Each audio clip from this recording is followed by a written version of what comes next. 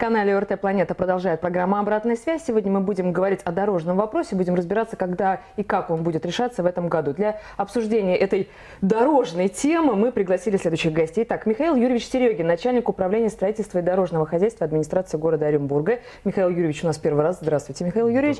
И Дмитрий Леонидович, человек, который постоянно к нам приходит в гости, очень отзывчивый и очень профессиональную, экспертную дает оценку э, и профессиональное мнение. Это директор главного управления дорожного хозяйства Оренбургской области. Здравствуйте, Дмитрий Леонидович. Очень приятно видеть вас в студии.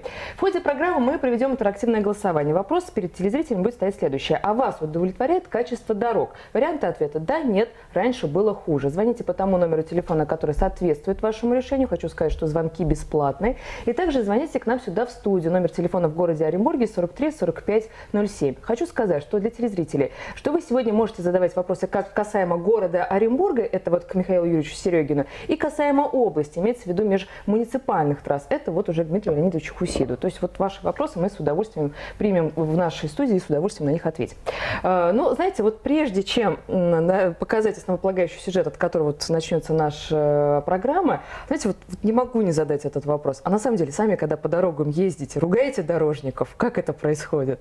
Когда попадаете в ямку или еще что-то. Вот, Михаил Юрьевич, с вас. Ну, естественно, э, вообще и мы всегда следим за состоянием дорог, и когда дорога находится в неудовлетворительном состоянии, естественно, это э, мимо этого пройти просто невозможно, и мы всегда стараемся такие участки выявлять, э, готовим проекты по реконструкции таких участков, включаем их программы э, ремонта, ну и планомерно выполняем эти работы. Ну, то есть глаза в данном случае не закрываете. Ни в коем да, я не сами могу. себе делал такую работу над ошибками. Дмитрий Леонидович, вы? Знаете, наверное, дорожники, может быть, главные критики собственной работы. Конечно, едешь по дороге в обязательном порядке. И даже там, где уже вроде бы и не надо было, а смотришь на состояние, смотришь на технические средства, организации движения и так далее. Это профессионально, э, этого не избежать. Довольны ли тем, что видим? Знаете, вот, наверное, дорожник хорошо сработал, когда человек проехал по дороге и не вспомнил про дорожника. Вот тогда мы честно выполняем свою работу. Когда люди не самым добрым словом про нас вспоминают, значит, нам есть над чем работать. Ну, давайте начнем нашу программу. Конечно, начнем с города Оренбурга, состояние дорог, э, скажем так, в отдельно взятом муниципальном образовании. Сейчас репортаж и продолжим.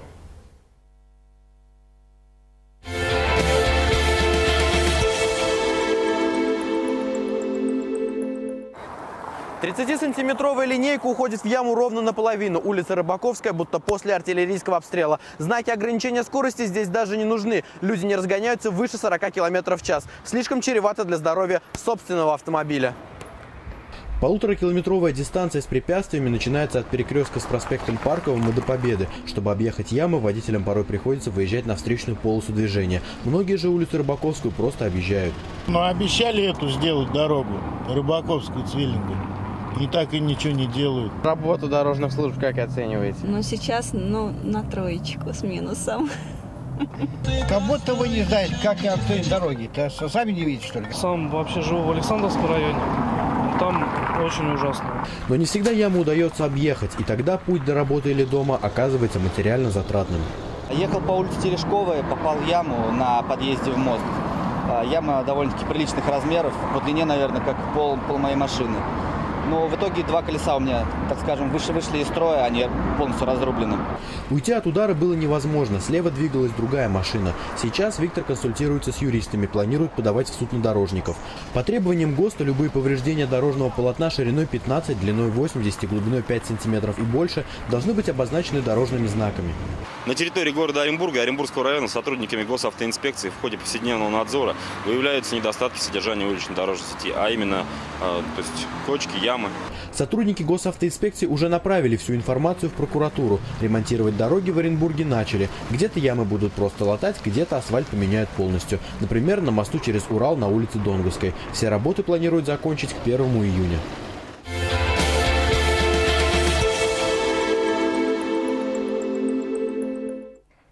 43-45-07, телефон прямого эфира. Звоните, задавайте вопросы нашим гостям. Михаил Юрьевич, ну начнем с вас. Да? Понятное дело, что каждую весну, как только сходит снег, не сразу можно приступить к ремонту дорог. Вот расскажите, как в этом году будет проводиться ремонт дорог и когда, хотя я уже видела, уже дорожники вышли на дороги и начали ремонтировать.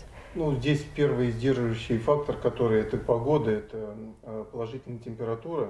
Э, которая нам позволяет вести работу, это должна быть среднесуточная, это э, не ниже плюс 5. Вот. Сейчас как бы у нас это мы на, этот, на эту температуру уже выходим, и вот с этой недели у нас начали в городе запускаться уже асфальтовые заводы. Вот на данный момент у нас заключены контракты. Вот первые мероприятия, которые мы хотим сейчас по приведению дорог в нормативное состояние, это мероприятие по ямочному ремонту. Это, конечно, не э, панацея, это не решает всех проблем, но это нам позволяет именно решить вопросы по таким вот э, именно аварийным участкам, по таким вот ямам, которые э, не должны быть на дороге. То есть это у нас мы сейчас хотим выполнять работы струнинационным методом, это мы вот пытаемся в этом году эту технологию запустить, она активно используется и в области. Мы как бы это, это так метод выпаривания или нет? Или как, нет, это, или как под, это э, давлением э, фракция, мелкой фракции щебня уже в эмульсии уже направляется прям, в яму и под давлением нагнетается и очень эффективный Такая и очень экономично Заклеивание такое дырки Да, получается. забивает, не нужно обрамление делать. И э, очень хорошо как бы держится, вот мы, э, еще раз повторюсь, это вот на примере областных дорожников это увидели. Э, сами еще в городе его не пробовали, только в прошлом году были попытки у нас осенью, но не очень хорошо получилось. В этом году я думаю, что я уверен, что у нас эта работа сейчас пойдет, и пойдет очень активно. Вот с понедельника заводы сейчас начинают работать, и я думаю, что уже к концу этой недели уже активно мы увидим на улицах э, города э, бригады, которые выполняют именно ямочный ремонт. А если проводить сравнение с прошлым годом, вот как в том году встречали весну, в том году хуже были дороги или э, такое, как бы это нельзя сравнить? Вы знаете, вот по моему ощущению, в прошлом году была потяжелее ситуация. В этом году как-то быстро и вода у нас, и снег хорошо убирали, и воду убрали с дорог. И э, таких вот, ну, Рыбаковское, понятное дело, э, очень ну, в том году и, да, сложный вопрос. Э, мы как бы уже подготовили проект по реконструкции данной дороги. Вот. Но мне кажется, что в прошлом году было все-таки uh-huh. посложнее э, ситуация. Ну и опять же, каждый год выполняется э, вот уже на протяжении, наверное, э, шести, может быть, даже больше лет очень активно ведется ремонт. И э, то, что вот обновляется Э, состояние дорог, то есть это позволяет как бы каждый год э, все-таки ситуацию улучшать. Я когда начинал, э, это вот у меня уже пятая весна на дорогах, вот первый год, когда я начинал, была ситуация гораздо хуже и было было просто больше дорог, которые не отремонтированы, которые за это время мы привели уже хорошее состояние. Дмитрий Леонидович, вот как вы оцениваете сейчас межмуниципальных трасс или еще рано оценить, потому что не везде еще сошла вода, потому что паводок, мы только вступили в паводок. Вот в данном случае, когда будет э, тоже проводиться ремонт и в каком состоянии трассы? Нет, ситуация видна уже сегодня. Значит, ремонт уже начат на дорогах межмуниципального э, областного значения. Работы уже начались. У нас таких дорог 12,5 тысяч километров. 5 тысяч из них в асфальтобетоне, остальные 7 в гравийке. Соответственно, и работы ведутся отдельно по гравийным покрытиям в части профилировок и по асфальтобетонным покрытиям. То есть, значит, тот самый пресловутый, который не очень людям нравится, ямочный ремонт, но, к сожалению, это такая неизбежная технология, которую надо применять и приходится применять при достаточно высоких износах. Проблематика наших дорог, ну, такая же, как и всероссийская, это, к сожалению, просроченные межремонтные сроки. То есть вот как-то уже в эфире рассказывал об этом, но тем не менее это действительно такая проблема. То есть дорога после того, как она построена, она живет по таким нормальным техническим законам. То есть через 7 лет после нового строительства дороги ей положено сделать текущий ремонт. То есть это накатать, что называется, новый слой асфальтобетона порядка 5-6 сантиметров. Через 15 лет дорогу положено капитально ремонтировать. Сегодня у нас, э, по нашей статистике, 80% дорог с просроченным межремонтным сроком. Причем, к сожалению, уже подавляющее большинство основных трасс с дважды просроченным сроком капитального ремонта, а на них, к сожалению, до сих пор не делался текущий. Отсюда растет площадь ямочного ремонта, это неизбежно, но это тот инструмент, который позволяет быстро дорогу привести в норматив. Поэтому мы этим занимаемся уже сегодня, перед тем, как будем выходить. А как перезимовали те дороги, которые вот в том году капитально ремонтировали, где шло строительство? Как они нормально, нормально перезимовали. Ну, загородные дороги живут немножко в другом режиме, в отличие от городских, да, то есть в первую очередь в части водоотвода. Главный рак асфальтобетонного покрытия – это, конечно, застой воды. То есть на загородных трассах все гораздо проще, и методики а, содержания, зимнего содержания проще, то есть снег сбросили с откосов, все, значит, он уже не тает на дороге быстрее продувается и так далее. То есть при соблюдении межремонтных сроков у нас был минимальный э, процент ямочного ремонта. Давайте примем телефонный звонок. Здравствуйте, слушаем вас. Ваш вопрос и откуда вы звоните? Здравствуйте. Я звоню из Городища по поводу дорог в Городище. Вот у нас одна единственная дорога, которая мимо церкви. А остальные дороги, вообще на них, по ним ездить нельзя предусмотрен хотя бы какой-то ремонт дорог, гравийный. Я уже, мы не говорим уже об, об асфальтном покрытии. Хотя бы гравийный. Отсыпать гравием. Потому что весной и осенью вообще ездить по нашим дорогам невозможно. Угу. Спасибо большое. Спасибо. Спасибо за вопрос. Э, что касаемо э, городища, как бы проблематика это известна.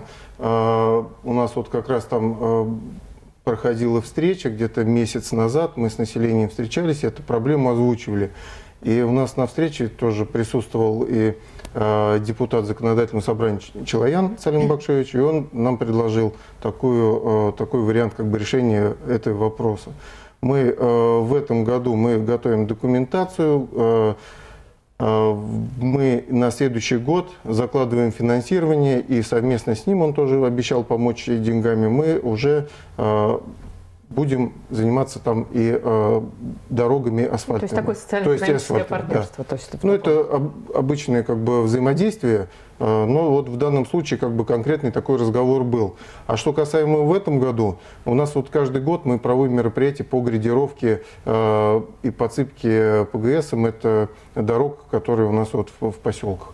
В этом году эти мероприятия тоже э, запланированы. В прошлом году было выполнено э, много таких мероприятий, в том числе и в Городище.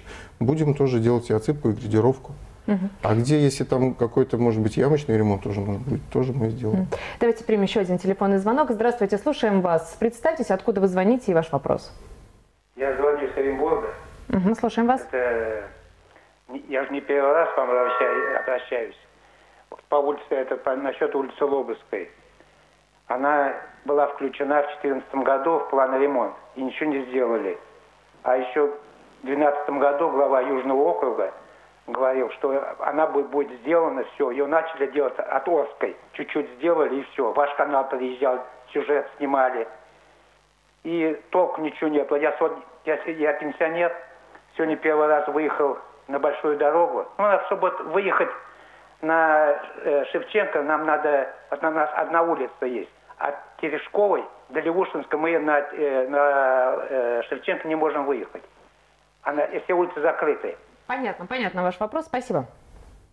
Ну, здесь э, ситуация, в принципе, такая же. Да? Мы э, сейчас вот э, в рамках э, мероприятия по а, приведение дорог в нормативное состояние. Здесь тоже проведем мероприятие, mm-hmm. сделаем ямочный ремонт. Конечно, полноценного я не обещаю, что мы э, полностью весь асфальтобетон поменяем, но меры примем обязательно. Но так или иначе, этот вопрос касается в любом случае финансирования, да, то есть что и у вас, что и у вас, да, то есть мы, вы бы были согласны отремонтировать все дороги. Кстати, мне сегодня а, такую вот присказку сказали, не знаю, насколько это правда или неправда, если бы Россия а, очень вплотную бы занялась полностью решением дорожного вопроса, то тогда бы не было бы безработицы, потому что все бы работали на дорогах. Я не знаю, насколько это правда или неправда, но так или иначе, э, э, это вопрос того, что не хватает денег, да. Но вот у меня, знаете, вот, э, Дмитрий Леонидович, вам вопрос, да, в том году вот Оренбургская область, получается, впереди планеты всей в Приволжском федеральном округе по э, сбору по, скажем так, дорожному фонду, да, то есть получается, а нет, по, по весовому контролю. 747 миллионов мы чуть с хвостиком собрали. Вот в данном случае, куда эти деньги идут, и вот какая часть из этих денег идет именно на ремонт дорог? Значит, ну, действительно, в прошлом году некий такой рекорд, причем всероссийский рекорд, это сбор платы за провоз тяжеловесных грузов в Оренбургской области. Вот он состоялся, 747 миллионов. Вот эти средства идут непосредственно в дорожный фонд и, собственно, напрямую а, на выполнение дорожных работ на наших дорогах. Значит, это один из источников формирования дорожного фонда, то есть наш собственный источник. То есть можно предположить, что в этом году в Дорожном фонде денег будет больше, и, соответственно, и в области, и в городах э, будут ремонтировать дорог больше, или нет? Ну, к сожалению, огорчу, нет прямой зависимости. Дело в том, что э, дорожный фонд э, штука многосоставная, и главный источник формирования дорожного фонда – это поступление от акцизов. Вот здесь это главная проблематика дорожного фонда, проблематика всероссийская. И, к сожалению, ежегодно идет снижение недопоступления средств по э, основному источнику акциза. И то, что при плане в 350 миллионов да, Оренбургской области удалось собрать как плата за провоз, вот те 747, это мы частично погасили недопоступление акцизов, чтобы выйти на свои контрольные цифры, на которые в конечном счете, к сожалению, не удалось выйти, потому что в прошлом году Оренбургская область от плановой цифры 5 миллиардов 80 миллионов акцизов недополучила миллиард триста. Ну, то есть это, ну, получается, то есть вот пятую часть. Частично, частично мы как бы благодаря собственным усилиям перекрыли вот это недопоступление. Но все же в этом году, получается, будет снижение по, скажем так, по а, финансированию, вот именно сейчас межмуниципальных, я имею в виду, да, Тарас, по ремонту, или здесь какие-то новые подходы, новые пути ищутся? То есть как все-таки решать не, вопрос? Новые пути абсолютно точно ищутся, они такие достаточно интересные, они в плоскости получения межбюджетных трансфертов, федеральных межбюджетных трансфертов. Вот здесь область самым серьезным образом занимается этим, работает с Москвой. Вот, то есть достаточно большая сумма значит, э, нами запрошена и, и есть шанс ее получить. Вот, то есть сегодня э, все основные решения на уровне Государственной Думы о выделении межбюджетных трансфертов для регионов приняты. Значит, идет, идет такая, может быть, не самая приятная, достаточно нудная работа на уровне Москвы по затверждению всех документов, по подписанию документов, по прохождению экспертиз, а, федеральных экспертиз вот в части проектно-сметной документации, какие объекты область предлагает включить а, выполнение по трансфертам. Вот эта работа сегодня идет, и это наша главная надежда, дополнительное финансирование. Вообще область принимает участие практически во всех федеральных программах, дорожных программах. Значит, вот сегодня межбюджетные трансферты, они трех видов – Значит, один, одну часть мы уже защитили, и область их получила, это 330 миллионов как бы, на компенсацию так называемого налогового маневра, как раз вот uh-huh. то, что выбыло из-за несобранных э, акцизов. Значит, и два других направления. Первое направление – это осуществление э, особо важных проектов, которые на уровне федеральном признаны как проекты особой важности. Значит, 20 регионов из всех попали в эту программу, в том числе мы туда попали с объектом обход города Оренбурга, то есть южный обход. Вот сейчас мы эту тему там защищаем, и в этом году значит, запланировано области там, 550 миллионов на начало строительства. Значит, это раз. Дальше еще один межбюджетный трансфер, который направлен на выполнение поручения президента от 2012 года, декабря 2012 года, на удвоение строительства. Это очень большая, очень серьезная задача. То есть здесь у нас тоже ведется большая работа. Значит, президент дал задание регионам а, за период 12 22 года, то есть за 10 лет построить дорог ровно в два раза больше, чем было построено за предыдущий период. То есть в Оренбургской области в это время было построено 210 километров, соответственно, 420 километров мы должны построить за 10 лет. Ну, то есть это достаточно прилично. Мы занимаемся это, ну, этой стройкой, только в прошлом году введено 53 километра, как бы это вот в наш банк, что называется, да, Оренбургский банк, а, прироста в километрах, прироста в сети. Вот сейчас а, Федерация помогает регионам выполнить эту задачу, выделяет трансферты. Единственное, я хотела уточнить, 410 километров за э, а, 10 лет, это плюс к тому, что вот запланировано в Оренбургской области, или это помощь тому, чтобы, скажем так, это выполнить, Значит, что запланировано? Это в целом область должна построить новых дорог, именно прирасти новыми дорогами. Угу. Всего 410 километров, 420 километров. Угу. Понятно. А цена вопроса какая, о, какой, о каких суммах идет ну, речь? Ну, сейчас об Еще этом невозможно сказать. Во-первых, и дороги достаточно разные, да, и вот здесь есть некая такая казуистика, да, то есть можно построить дорогу первой технической категории с разделительной полосой, всего 20 километров этой дороги, которые будут стоить, увы, миллиарды. можно построить небольшой подъезд к малому населенному пункту с гравийным покрытием, где километр дороги и там 10 километров дороги будет стоить 100 миллионов. То есть угу. здесь есть совершенно разные подходы.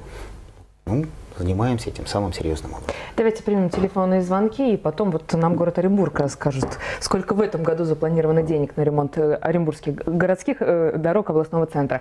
Здравствуйте, слушаем вас. Ваш вопрос, откуда вы звоните? Алло, слушаем вас. Алло. Да-да-да, говорите. Э, добрый вечер. Персил Оренбург, поселок Расташи, старый Расташи, который так теперь называется. Улица Первый проезд. Нам лет пять назад, когда ремонтировали улицу Березку, привозили срез и отсыпали дорогу. Большое спасибо, там господин ДВДНК нам помог, южная администрация и так далее. Но нам буквально не хватило 50-70 метров до асфальтированной улицы Росташинской. И как получается, вся вот там грязь, все скапливается. Ни дети в школу, ни сами, как говорится, пройти без калош, без сменной обуви не можем. Вот просьба как-то выделить немножечко нам средств на на отсыпку этого участка. Угу, понятно, спасибо. И давайте сразу второй звонок, потому что он тоже из поселок э, из Росташей. Здравствуйте, слушаем вас. Меня зовут Ольга. Э, я по той же близкой проблеме. Вот скажите, хотелось бы знать пояснение. У нас, э, мы живем в Старых Шесташах, в конце поселка. Здесь пробили незаконную дорогу строят поселки Росташинские пруды, Росташи-2, превратили нашу степь ковыльную еще пять лет назад в свалку, разбили все, что можно, э, устроили колеи. Вся наша первый проезд сплошная грязь, разбитая, даже внедорожники уже проехать не могут. А мы имеем две асфальтовые дороги. Двухполосная Росташи-2, которая упирается в Росташи Газпромовский, и вторая дорога от дач, от дач, асфальтовая дорога, которая убирается в старые Росташи.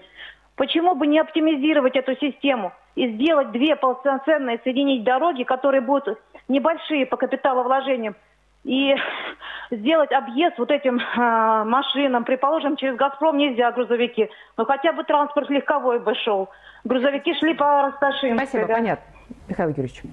Я как Про... поняла, вы кивали, уже знаете этот вопрос. Да, прям хорошо. Эта прям проблематика знакома. Мы в прошлом году выезжали как раз э, осенью, смотрели э, мы вот по дороге, которая э, к старым Расташам идет, вот с объездной мы туда подъезжали, смотрели на, на строительство поселка вот э, вышеупомянутого, который транспорт все дороги портит.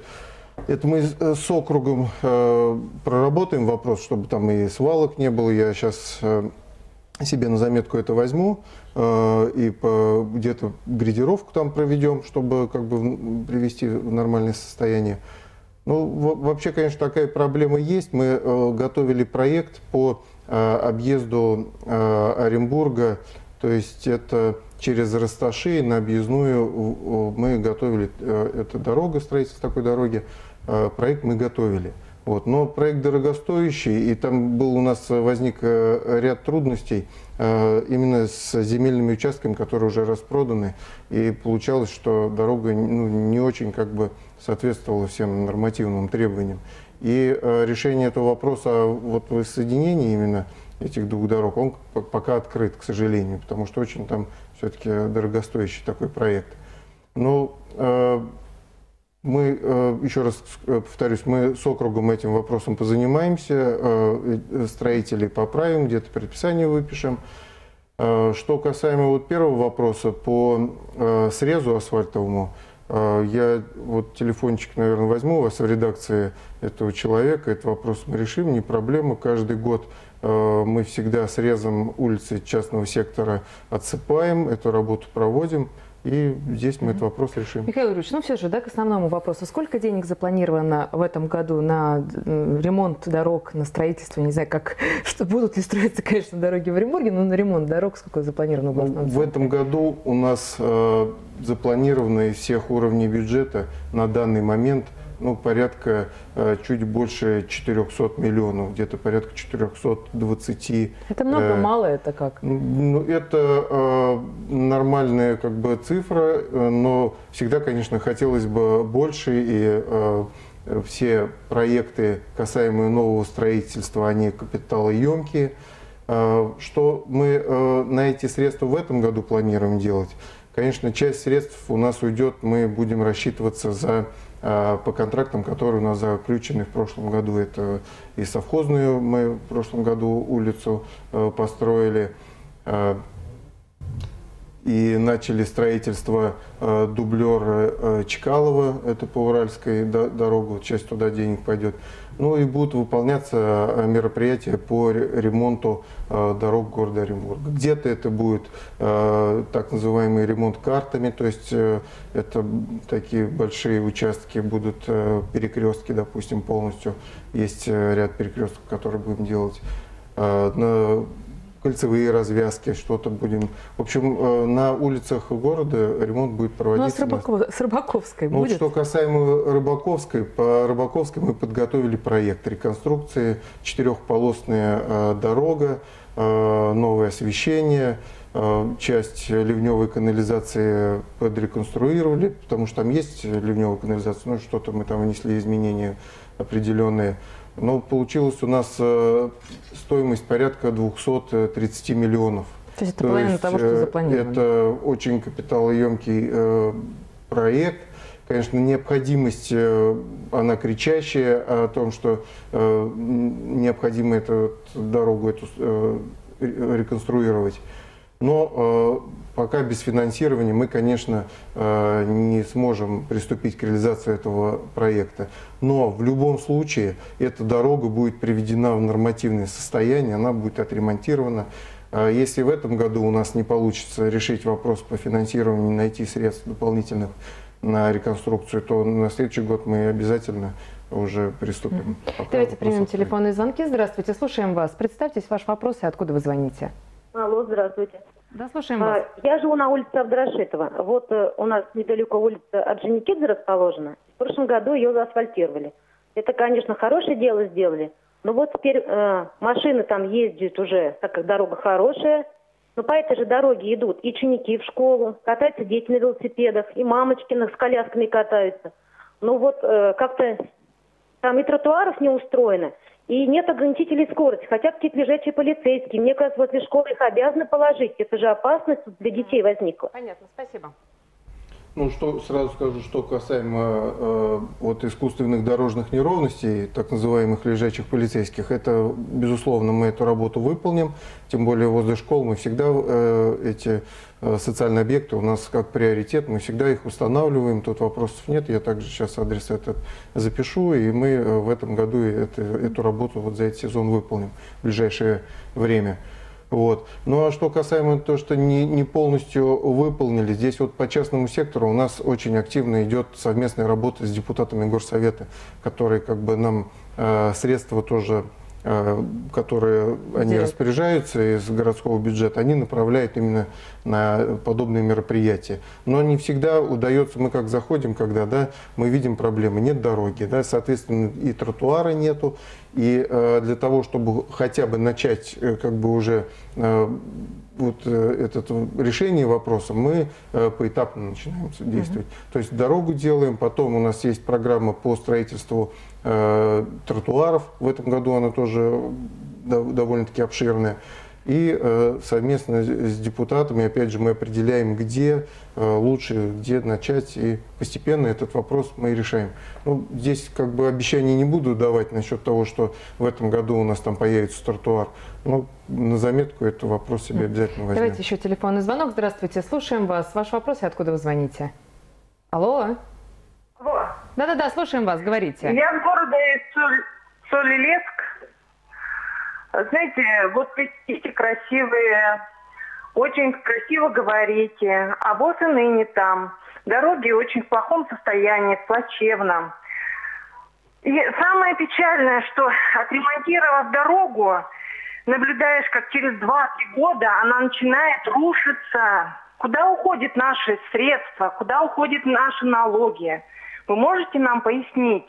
Простым обычным гражданам, которые ездят по этим нашим дорогам и ломают собственный транспорт. Хорошо, вы сейчас конкретно про какую дорогу, допустим, говорите? Ну, у нас лет какие много. Улица Орская, улица Чапаева, например, улица Уральская, которая была не так давно отремонтирована. И даже там большегрузный транспорт не ездит. Там только ходит э, легковой автомобиль. Угу, понятно, спасибо большое. Дмитрий Леонидович, ну вот немножко к вам, наверное, больше вот адресую этот вопрос. Ну... Потому что, на самом деле, такой частый вот вопрос, потому что дорогу отремонтировали, а потом раз, э, и она разрушена. Ну, во-первых, те дороги, которые были перечислены, дороги, которые относятся к муниципальному образованию города Солилецк, насколько я понимаю, да? Да, это однозначно. Но да. если говорить о принципиальном подходе, любая вновь построенная или отремонтированная дорога, она встает на гарантийное обязательство построившего ее. И если в рамках этих гарантийных обязательств начинается разрушение, то строитель обязан это исправить, естественно, за собственный счет. Сегодня э, правила гарантийных обязательств, они для любых дорог абсолютно одинаковы, потому что они продиктованы нормативной документацией федеральной. Сегодня эти правила очень ужесточились. Значит, э, гарантийные обязательства на верхний слой асфальтобетонного покрытия на любых дорогах, муниципальных, федеральных, региональных, значит, 4 года. Поэтому Естественно, это задача того, кто выступил заказчиком. Если говорить о городских дорогах города Солилецка, ну, очевидно, выступал заказчиком город Солилецк. Заказчик обязан потребовать с исполнившего эти работы устранить все э, промашки, скажем угу. так, брак, устранить брак за счет его гарантийных обязательств. У нас в области масса примеров, когда и мы ведем такую работу, и наши коллеги в ну муниципалитетах вот ведут такую работу. Областные дороги, которые межмуниципальные, сколько вот денег, скажем так, за 2014 год возвращено именно, вернее, даже не денег, скажем так, какие обязательства, гарантийные обязательства будут исполнять э, подрядчики в данном случае, где вот им придется за свой счет, да, где некачественная работа? Ну вот, э, значит, каждая весна, она начинается с того, что Наша специальная комиссия проезжает и осматривает все объекты, построенные в 2014 году, и, соответственно, выдвигает претензии, либо не выдвигает претензии ко всем подрядчикам. То есть это делается после того, как произошло оттаивание, потому что по завершению оттаивания, то есть это май месяц. Вот в мае месяце будут э, все объекты до единого осмотрены, причем на самом длинном периоде, потому что если гарантийный срок на асфальтобетонное покрытие 4 года, то гарантийный срок на земляное полотно 8 лет и на водопропускные трубы 8 лет и так далее. Поэтому все дороги, которые вот ремонтировались, строились, реконструировались в этом периоде, они у нас в нашей комиссии осматриваются, осматриваются, после этого мы предъявляем претензии своим подрядчикам. Это и в части мостовых сооружений. дороги, где-то, где, скажем так, вот уже Вы знаете, ну, есть такое подозрение, не, что не, не скажу сейчас. Ну, как бы подозревать дело такое в инженерной службе, это, это не самое, в инженерной службе это, наверное, не самое правильное. Вот. Все измеряется, на все есть методики замеров, методики диагностики и так далее. Мы этим вооружены. У нас для этого есть специально диагностическая лаборатория передвижная, которая проедет все эти объекты и в обязательном порядке обмерит. И еще раз повторюсь, мы выдвинем претензии нашим подрядчикам, если таковые будут. В Оренбурге. Ну, здесь хотелось бы добавить, что у нас э, тоже ежегодно подобные мероприятия э, проводятся. То есть они начинаются у нас э, в апреле и где-то э, к концу мая они уже заканчиваются. У нас комиссионно э, совершается объезд всех гарантийных дорог, которые находятся на гарантии. Совместно тоже мы работаем с округами, то есть вместе с представителями округов. Выезжаем, обследуем. Если где-то есть у нас дефекты на дорогах, на гарантийных, хотя я тоже соглашусь, что вот, на, знаете, вот таких явных э, нарушений э, на гарантийных дорогах, вот, за, вот даже за, за мой период работы, вот за пять лет, э, такого, чтобы вот построили дорогу, она на гарантии и сошла вместе с водой и со снегом, такого не было. Вот положа руку на сердце, я вот такого не, не могу вспомнить. Да, где-то есть вопросы э, частичного где-то, может быть, э, разрушения там полотна где-то, которые подрядные организации, в принципе, все устраняют без всяких э, лишних вопросов и э, не, не доходя ни до судебных решений, ни до чего-то там. Угу. Просто мы, сами, мы сперва осматриваем дорогу, приглашаем подрядчика, составляем акт, все даем время на устранение, и э, этот вопрос решается. Я сейчас режиссеров попрошу показать видео, которое было опубликовано на сайте РЕА-56 на той неделе. Дмитрий Леонидович догадывается, о чем я. Это ситуация, которая произошла на Акбулакской трассе. Вот э, телезрителям хотим показать, что вот произошел размыв дороги. Это так, ну, это можно отнести к форс-мажорным да, обстоятельствам да. в данном случае. Э, понятное дело, что водитель не видел, и э, по счастливой случайности он оказался жив, но мы видим, да, на экранах, вы сейчас видите на экранах своих телевизоров, что э, машине предстоит ну, дорогостоящий ремонт, потому что вся ходовка снесена. Вот, э, Дмитрий Леонидович, расскажите, во-первых, как это так произошло и какие работы уже вот проведены в этом направлении, и что будет с водителем? То есть будет ему возмещаться средства или не будет? Ну, первое, самое главное, замечательно, что люди живы, вот, и как бы без тяжелых травм это обошлось. раз, два. Значит, дорога Булак-Федоровка, 16 километр. Значит, э, на прошлой неделе, по-моему, в четверг это произошло у нас, скажем так, инцидент. Вот. Залповое таяние воды, значит, паводка. Ну, сегодня, кстати, идет в области паводок. Время достаточно сложное, может быть, самое сложное для дорог, вот, э, значит, для водопропускных сооружений, для мостовых сооружений и так далее. Вот. Значит, э, произошло быстрое таяние, залповое, значит, э, по логу собралось достаточно большой объем воды. Там вот, кстати, на видео даже это хорошо видно, там именно в этом месте заложена водопропускная труба сечением 1000 миллиметров, 1020, если уж точно. Мгм. Вот, то есть она не справилась, к сожалению, не справилась вот с таким большим объемом воды. Вот произошло размыв а, самого земляного полотна, причем это произошло за считанные часы. Потому что, Но трасса кстати, не очень активна, как я еще ну, поняла, трасса, да. трасса не очень активная, но трасса в очень приличном состоянии, потому что, скажем, это гравийная дорога, по которой люди ездят 110 километров. И, собственно говоря, вот э, водитель оказался молодцом, что как бы резко прибавил газа, он и так шел за сотню. И перепрыгнул. Вот, просто перепрыгнул. Теперь что будет? Он, ну, в моем понимании, обязан предъявить претензию, вот, в судебном порядке отстоять свои права, получить компенсацию за разбитый автомобиль. Это обыч- обычная практика, и, естественно, это, конечно же, судебная практика. Значит, что произошло на дороге? А вот размыв произошел а, в 6 часов вечера, если уж точно 18.45, а в 11 часов утра а, на следующий день, то есть дорога была отремонтирована и проезд был дан. В ночь было организовано движ- дежурство спецтехники с проблесковыми маячками, чтобы не допустить как бы, подобных случаев. Были выставлены знаки, которые объясняли о том, что проезжать нельзя. Ну, как бы никакого форс-мажора не произошло. Эта дорога, она у нас такая транзитная, она соединяет Акбулак с Беляевским районом. И, в общем-то, населенные пункты, которые на них находятся, все они остались с движением, как со стороны дороги Оренбург-Беляевка, так и со стороны вот, дороги Мгм. Сулецк-Акбулак. Ну, вот такой инцидент, который, к сожалению, на дорогах имеет место быть. Сегодня, да, паводок, сегодня ситуация, а, может быть, проще, чем во многие другие годы, но тоже не самая простая. Сегодня Ну, низководные мосты под водой и так далее, и так далее. То есть, Мгм. в общем, дорожники ведут Давайте свою примем телефонный звонок и будем подводить итоги. Здравствуйте, слушаем вас. Ваш вопрос и откуда вы звоните? Алло, добрый, добрый вечер. Это вам, вам звонит Целека, Хватулин Рафаэль. А, ну, у меня вопрос вот э, к начальнику дорожного управления Оренбургской области. Вот у нас находится дорога Оренбург и Лек границ с Республикой Казахстан. Ну, дорога вот изумительная, отличная. Но вот в том году сделали щебеночное покрытие. Такое ощущение, как будто это сделали специально, чтобы мы били все машины, стекла. Особенно участок это Кардаилово подстепки, Нижнепавловка. Вот, ну зачем это делать? Это же ничего, никакого улучшения для проезжей части ничего не делать, а вот только мы уворачивались от этих булыжников. Больше создали аварийную ситуацию. И причем тут, как там делали, сейчас вот обращайтесь, говорит, да, в Переволодское дорожное управление. Ну при чем тут мы это? Если там большая Волга, кто там отвечает? Вот кому хоть найти? Все машины побиты. Вот кто Понятно, едет, смотрит, спасибо, все спасибо, понятно. Эту технологию будут просто ругать и ругать. Вот эту щебеночную, которую поверх асфальта покла- кладут. Давайте так, мы обсуждали Да, да, мы уже тему. обсуждали этот вопрос, Значит, да, ну. Оренбург и Лек, граница Казахстана, это одна из наших федеральных дорог. Вот, значит, заказчиком там выступала Большая Волга, то есть федеральное управление. Вот, ну, по не суть. Вот. Технология, в общем, далеко не самая плохая. Технология очень распространенная в Российской Федерации. Вот, технология, имеющая свои, скажем так, нюансы. Вот, одна из главных ее задач должен быть очень хороший высококачественный битум. Очевидно, вот при укладке вот этого защитного слоя, это называется технология широковатой поверхностной обработки, вот, как бы, я, я предполагаю, что был не самый качественный битум.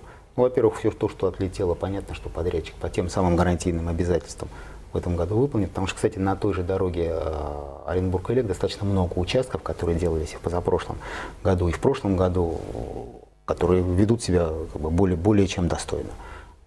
Значит, э, теперь то, что касается, опять же, э, побитых машин.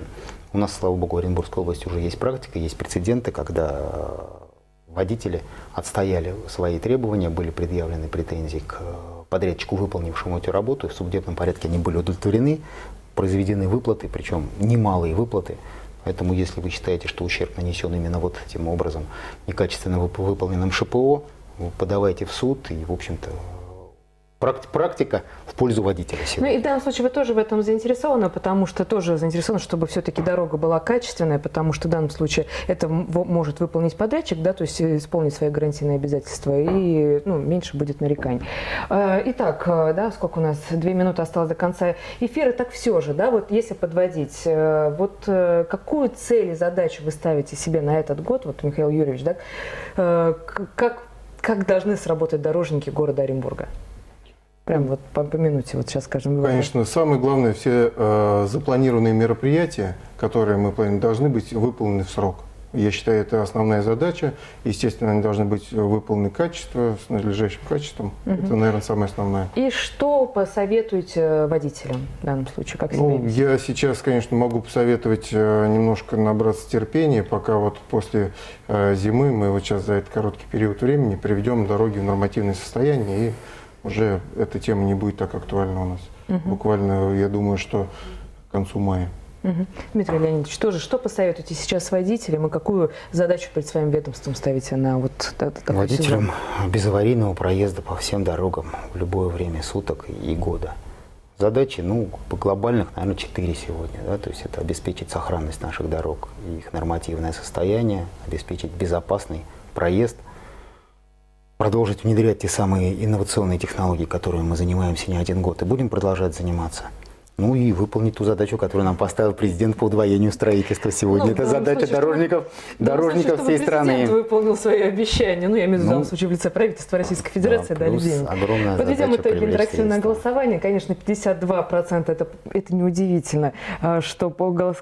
их не удовлетворяет качество дорог, но мы сами тоже с этим согласны, в этом направлении работаем. 16% говорят, что раньше было хуже. Так что 32 и 16% а, вот это почти то, почти половина людей, которые ну, оценили вашу работу на четверочку или, может быть, кто-нибудь даже на пятерочку.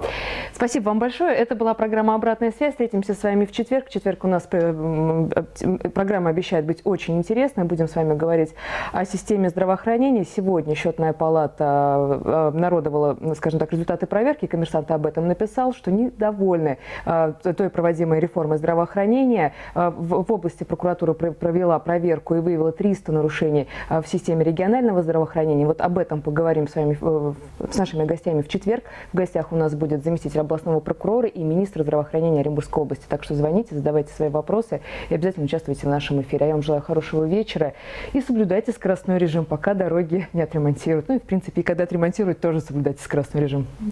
Такие вот правила. Так что удачи, хорошего вам вечера.